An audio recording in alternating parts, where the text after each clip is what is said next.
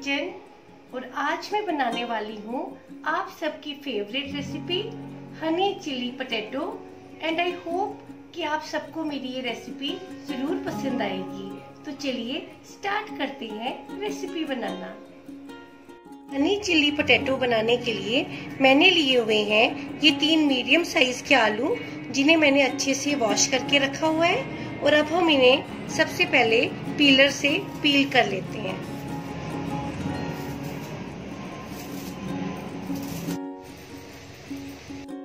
अब हम इन आलूओं को फ्रेंच फ्राइज की शेप में काट लेते हैं।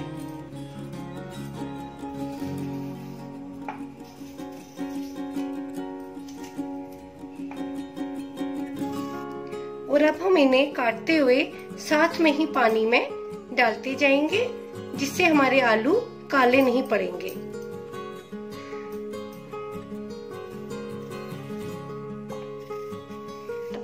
ये देखिए हमारे आलू कट के रेडी हो चुके हैं।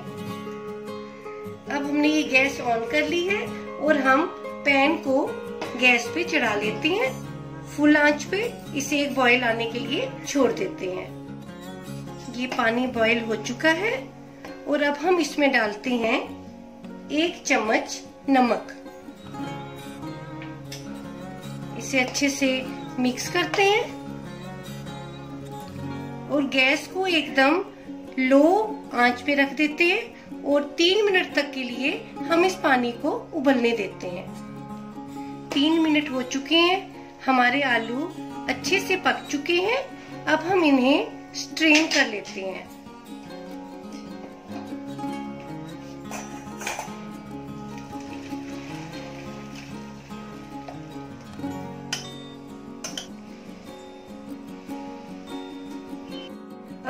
आलू को इस प्लेट में डाल लेते हैं और दो मिनट के लिए, ठंडा होने के लिए रख देते हैं। जब तक हमारे आलू ठंडे हो रहे हैं, तब तक हम एक बाउल में लेते हैं दो चम्मच चावल का आटा और दो चम्मच मैदा।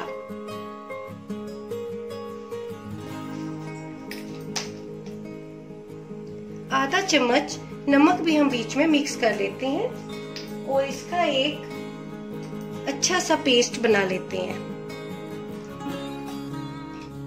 थोड़ा थोड़ा पानी डाल के हमने बनाना है।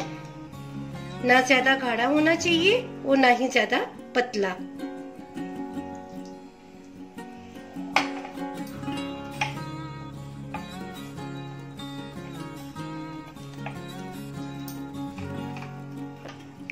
और अब हमारा ये एकदम स्मूथ सा पेस्ट बनके रेडी हो चुका है।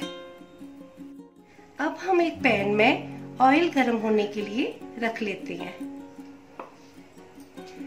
जब तक हमारा ऑयल गर्म होता है तो हम इन आलू को इस घोल में डाल लेते हैं। हमने एक एक करके डालने हैं। अच्छे से इन्हें कोट कर लेना है।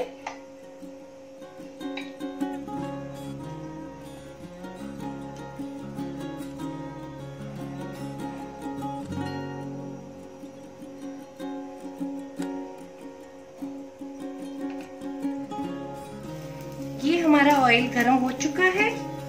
अब हम गैस को थोड़ा लो कर लेते हैं और एक एक करके आलू को इसमें डाल लेते हैं।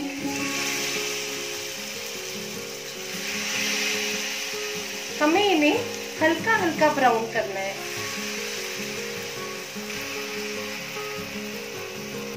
हमारे आलू हल्के हल्के ब्राउन हो चुके हैं और अब हम इन्हें निकाल लेते हैं क्योंकि हमने इन्हें एक बार फिर से फ्राई करना है। इसी तरह से हमने सभी आलुओं को फ्राई कर लेना है।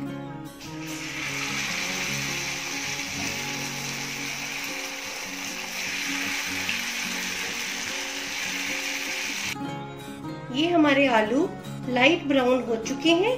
अब हम इन्हें एक बार फिर से ऑयल में डाल के अच्छे से फ्राई करते हैं। उससे क्या होगा कि हमारे यहाँ पोटैटोज जो हैं, ये टेस्ट में बहुत ही क्रिस्पी होंगे।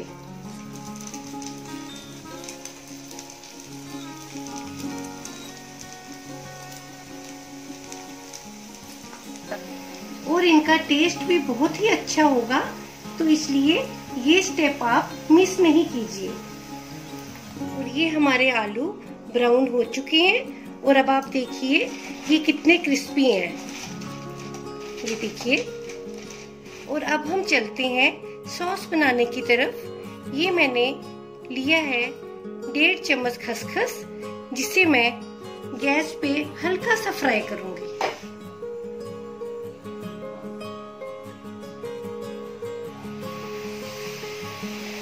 खस फ्राई हो चुका है। अब हम इसे यहाँ रख लेते हैं। अब मैंने पैन में से एक्स्ट्रा ऑयल निकाल लिया। एक चम्मच के करीब ऑयल इसमें रहने दिया। और अब हम सबसे पहले इसमें डालते हैं दो तीन तुरिया लहसुन की। इसमें दो तीन हरी मिर्च डालते हैं।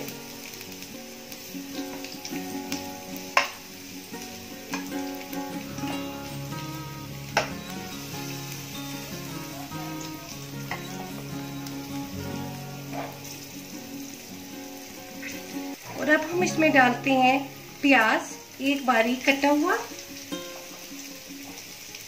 साथ में एक कैप्सिकम।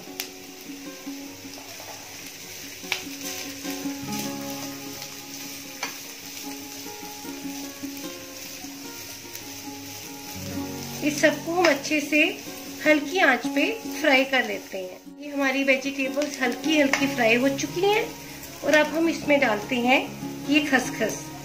और इसे फिर से अच्छे से मिक्स करके हिलाते हुए पकने के लिए रख देते हैं। ये हमारी वेजिटेबल्स फ्राई हो चुकी हैं। अब हम इसमें डालते हैं एक चम्मच से थोड़ा सा कम नमक और इसे एक बार फिर से अच्छे से मिक्स कर लेते हैं।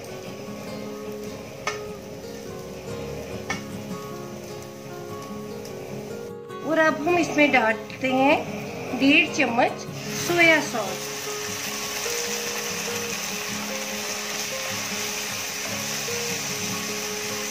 अच्छे से मिक्स कर लेते हैं।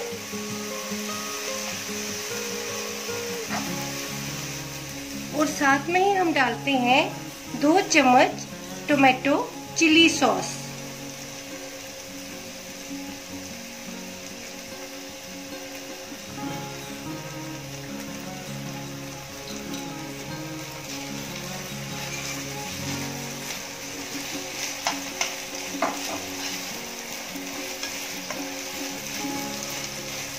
चम्मच चीनी भी हम साथ में डाल लेते हैं।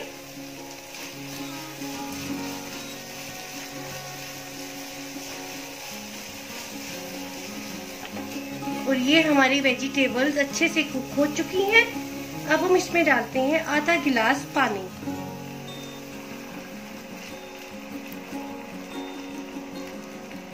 और इस सब वेजिटेबल्स को एक बार फिर से अच्छे से कुक होने के लिए रख लेते हैं।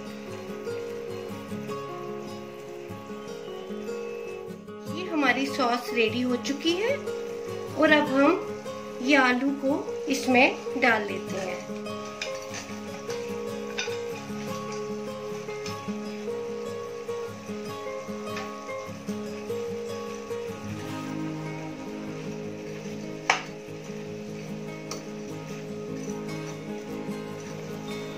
ये एक चम्मच हनी भी हम इसमें डाल लेते हैं।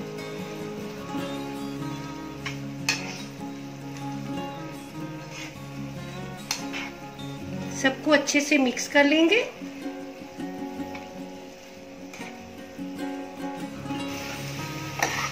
ये देखिए कितनी अच्छी लुक आ रही है इसकी। देखने में कितने अच्छे लग रहे हैं।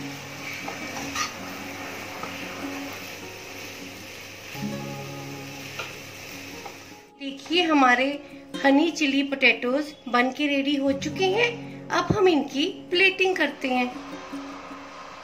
ये हमारे हनी चिली पोटैटो बन के रेडी हो चुके हैं और हम थोड़ा सा खसखस डाल के इन्हें गार्निश कर लेते हैं।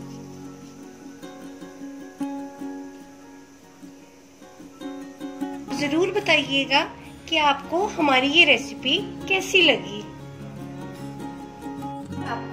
मेरी ये रेसिपी पसंद आई हो तो चैनल को सब्सक्राइब ज़रूर कीजिए और हाँ बेल आइकन को भी प्रेस कीजिए, जिससे आपको मेरी लेटेस्ट रेसिपीज़ की नोटिफिकेशन मिलती रहे।